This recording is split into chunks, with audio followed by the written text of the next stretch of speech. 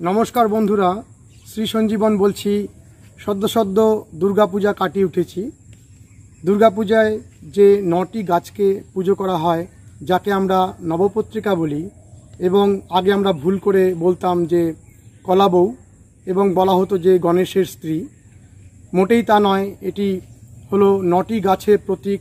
নটি গাছের মধ্যে দেবীর নটি রূপকে প্রতিষ্ঠা করা হয়, এবং কল্পনা করা হয় যে নটি গাছের মধ্যে দেবীর নটি রূপ, যেটি উত্তর ভারতে মা দুর্গাকে নবরাত্রিতে এক এক দিন, এক এক দেবীর রূপ হিসাবে কল্পনা করে পূজা করা হয়। বাঙালির মনীষা তাকেই এক একটি গাছের মধ্যে প্রতিস্থাপিত করে পুজো করেছে এবং আশ্চর্য রকমভাবে প্রতিটি গাছই ঔষধি গুণে ভরপুর। অনেকগুলি গাছ বৃক্ষ এবং কিছু গাছ আমাদের নিয়মিত আমরা খাদ্য হিসাবে গ্রহণ করি। আসুন আমাদের দুর্গাপূজার বিভিন্ন স্মরণীয় মুহূর্তর সঙ্গে সঙ্গে গাছগুলোকেও চিনে নিই। বলা হয়েছে নবপত্রিকা বাসিনী দুর্গা দেব্যই নমঃ। তার মানে এই নটি গাছের মধ্যেই দেবী দুর্গা অবস্থান করছেন। আমরা যারা গাছ করি, তাদের খুবই আনন্দের বিষয়। আমরা যদি এইভাবে ভাবি যে দুর্গাপূজা হলো গাছের পুজো। আশ্চর্য রকমের ব্যাপার, প্রকৃতির পুজো, প্রকৃতি মানেই মা, মাতৃশক্তির পুজো। দেবী দুর্গা, বাঙালির মনীষা, একে প্রকৃতির উৎসব, সঙ্গে সঙ্গে শারদীয়া উৎসব এবং মূল উৎসবে পরিণত করেছে, যা কিনা সকল জাতির, সকল ধর্মের মানুষের মেলবন্ধন ঘটিয়েছে। এই দুর্গাপূজা যেমন একদিকে ধর্মীয় উৎসব, তার সঙ্গে সঙ্গে সামাজিক উৎসব। নবপত্রিকাতে আমরা দেখেছি যে একটি কলা গাছ। এই কলা গাছ হলো দেবী ব্রাহ্মণীর রূপ হিসাবে আমরা কল্পনা করি। এবং দেবী ব্রাহ্মণীকে আহ্বান করি এই কলা গাছের মধ্যে। দেখুন, এই কলা গাছ সকলের পরিচিত কলা গাছ কলা গাছটিকে মূল হিসাবে গ্রহণ করে আমরা কলা বউ এবং নবপত্রিকা তৈরি করি।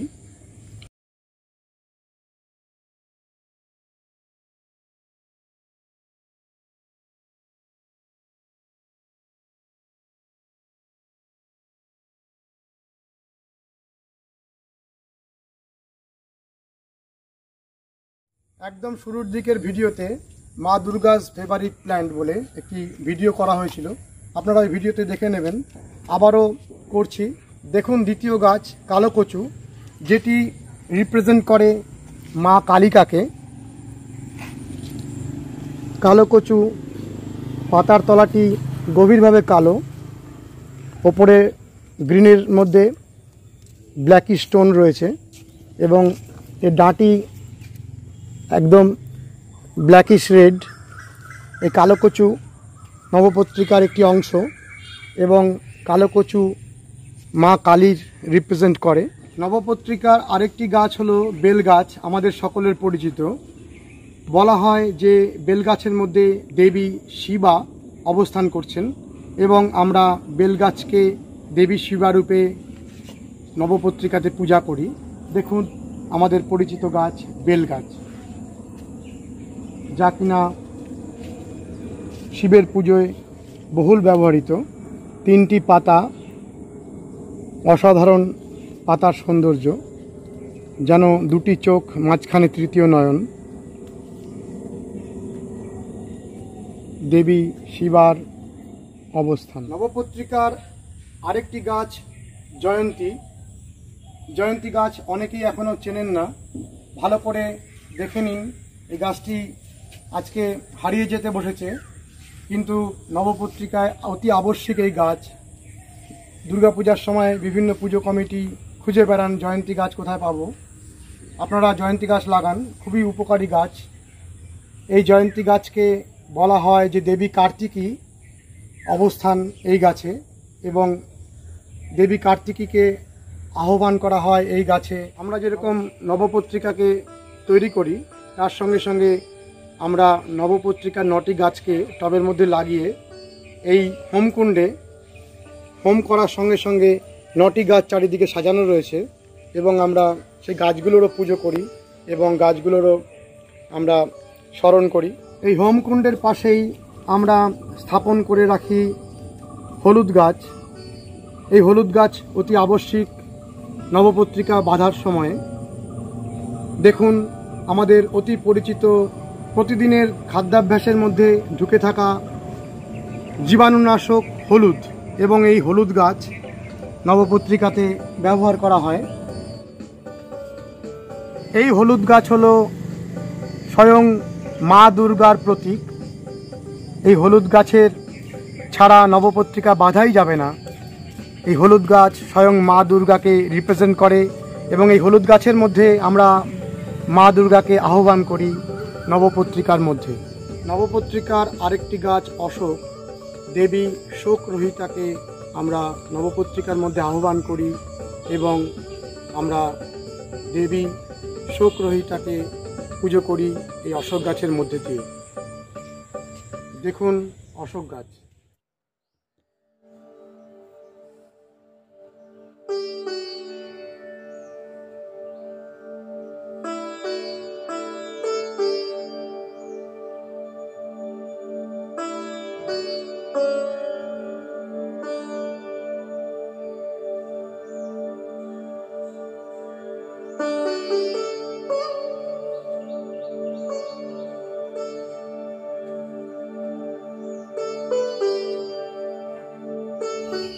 নবপত্রিকার আরেকটি গাছ ডালিম। দেবী রক্তদন্তিকাকে এই ডালিম গাছের মধ্যে আহ্বান করে আমরা দেবীর যে রূপ রক্তদন্তিকা তার পুজো করি। দেখুন আমাদের যে ডালিম আমরা খাই, সেই ডালিম গাছ।